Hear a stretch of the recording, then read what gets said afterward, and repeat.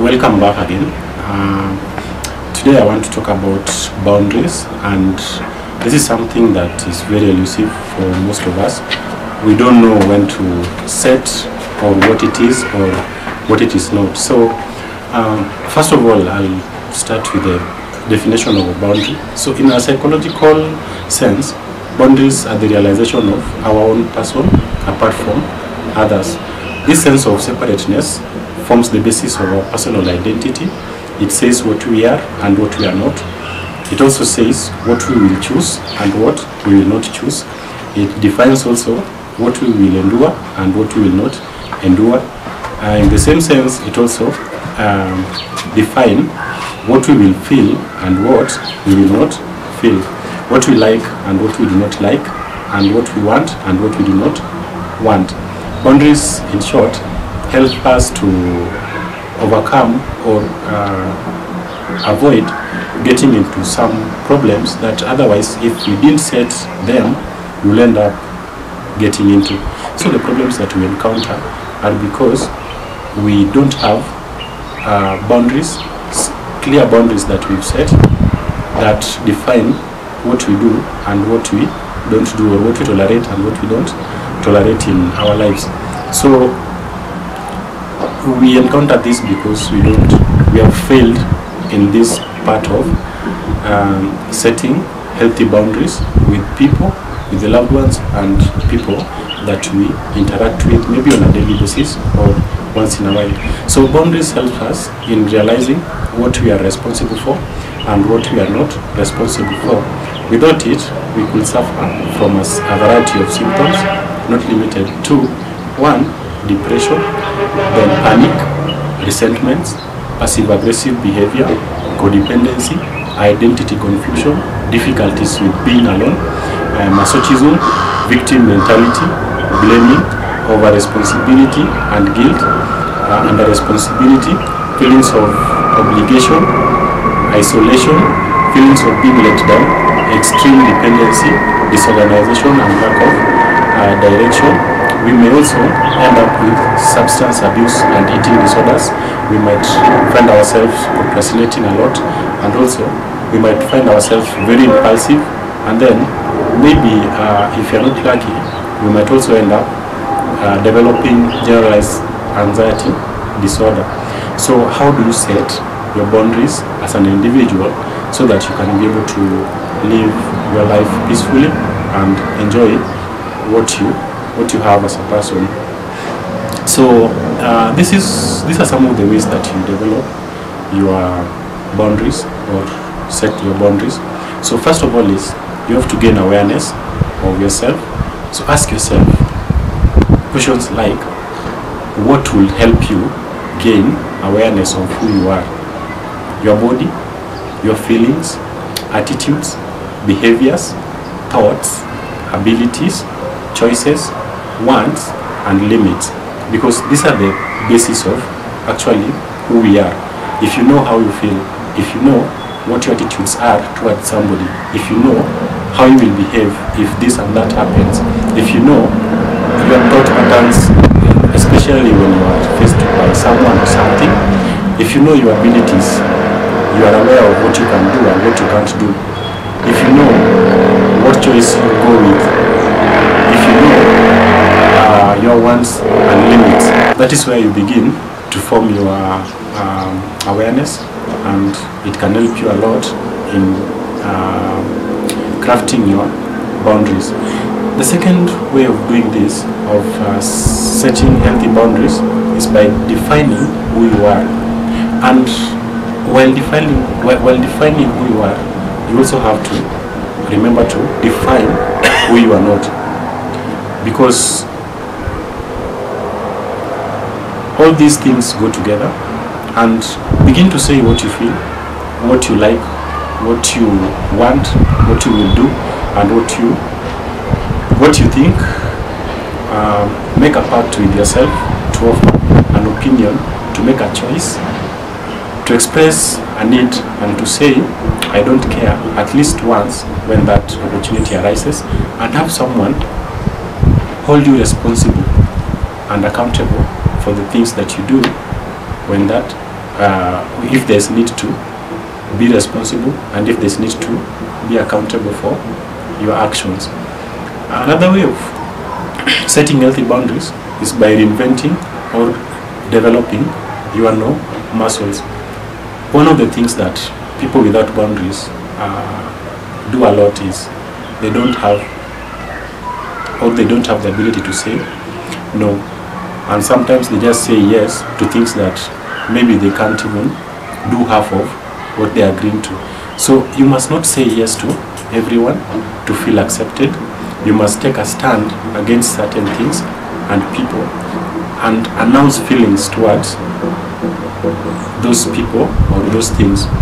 And with your abilities to say no you won't uh, need to make any excuses or take responsibility for the other person's disappointments. So you have the ability to now take responsibility for your own disappointments and you don't have to take responsibility for other people's disappointments because you don't have a way of saying no. If you can't do it you can't do it. Don't say yes go do it and then disappoint people and then feel sorry about yourself. That does not help you in any way so uh, i'll go to the next way that you can uh, the next thing that you can do to help you develop your boundaries stop blaming others not blaming others for the circumstances of your life does not necessarily mean that they did not cause your trouble. It simply means that you will uh, you will deal with that trouble. We reap what we sow, but in this world that we, live in today, we often reap what others sow for us. So are you willing to accept responsibility for dealing with the effects of situations you did not cause as a person? Because that one will define how uh, mature you become in terms of setting your boundaries as a person. So um, another way is not to play victim. As an individual, uh, you make choices and you are responsible for what you choose to do. Ask yourself the kind of situations where you feel victimized and deduce what new feelings with the perspective of the real situation as presented can you be able to uh, to get because most of us we end up blaming others for um, doing things to us and then we start playing the victim mentality and we get that victim mentality and start playing the victim this is this cannot help you stand your ground and it cannot help you create a better boundary for yourself and when you are setting or you are uh, on the path of setting those healthy boundaries, you have to leave that behind. Stop throwing yourself pity parties. It won't help you in any way. Become active, not reactive. People with boundary problems often make choices by passively reacting to others. Look at ways to live out your values in conflict situation instead of reacting in defensive ways. We're, we're always ready to be defensive, but it doesn't help. Another way that you can be able to set uh, healthy boundaries is by setting limits. If you're suffering from another person's abusive behavior, wait no longer to put limits on what you will tolerate from them. Plan what you will say, deliver that message, and then follow through on what you say you will do. Practice self-control. A person who lacks self-control is like a city whose walls are broken down.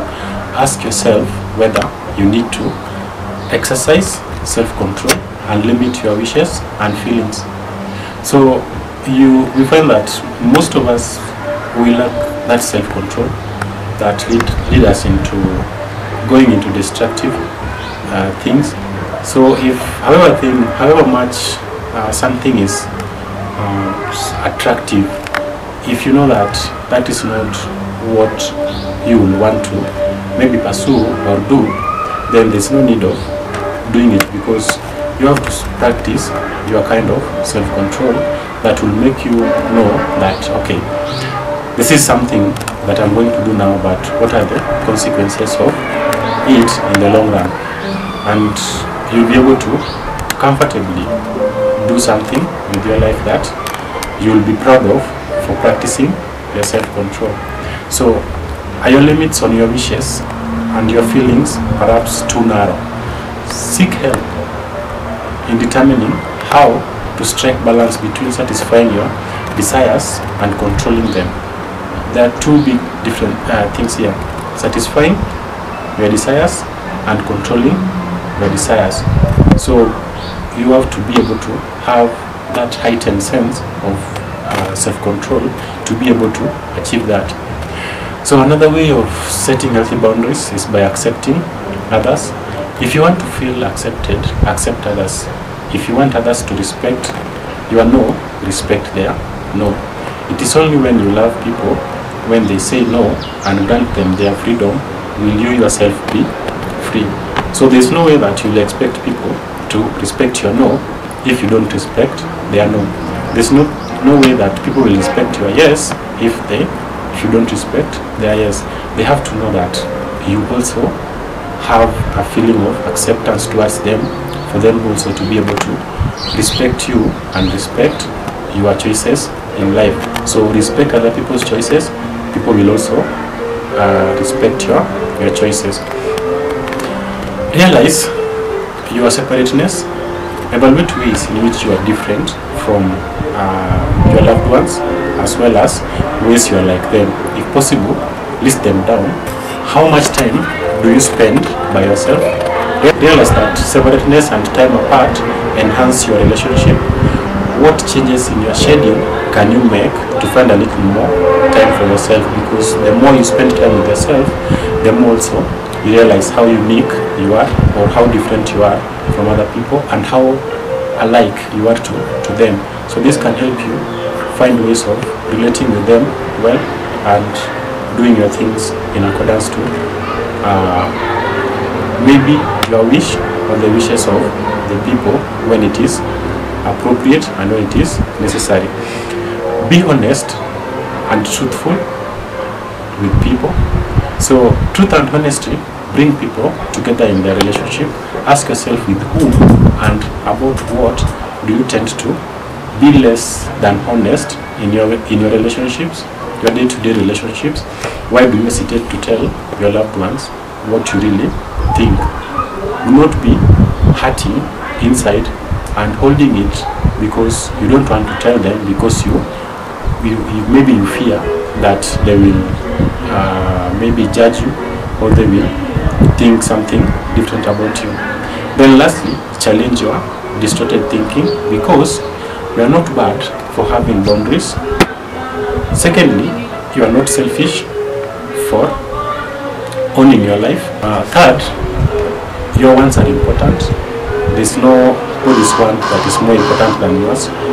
Yours are important as well. You must not have everything you want.